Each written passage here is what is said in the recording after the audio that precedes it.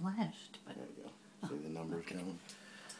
so what do I have to do about that? Anything? That means it's recording. Okay.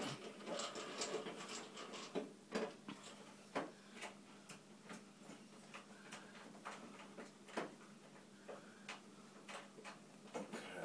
I forget if it's this panel or the one on the bottom. There's two panels on this water heater.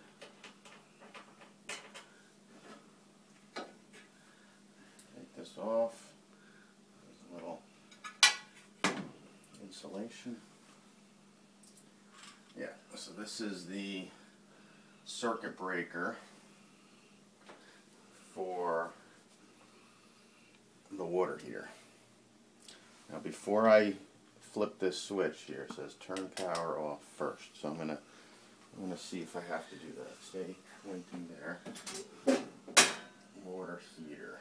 I'm gonna turn this off just to be safe. Okay. I'm not sure if I have to do that or not, but I'm gonna hit this button. You heard that click? I heard the click. I'm pretty sure that means it blew the circuit breaker. Oh, So now I'm going to come over here and turn the circuits back on on the electrical panel. Let Okay. me swing over this way. Show the electrical panel. I'm going to turn this hot water heater back on. Now I'm hoping we're going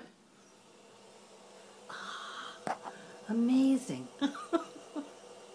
you're So so, hear- you're a genius, James. We hear some water coming in. Yeah. So some.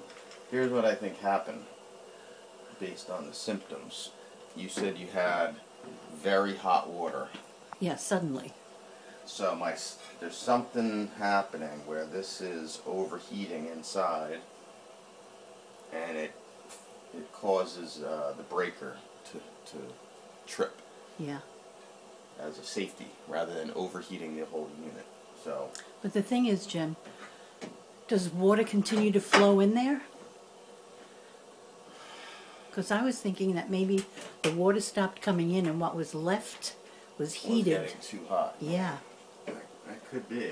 right now we hear water coming in, right. So there might be something.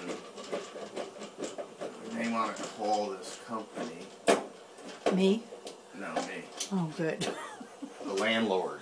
The landlord. All right. they would ask me a thousand questions that what I wouldn't be able to answer. I'm going to do a little searching on the internet.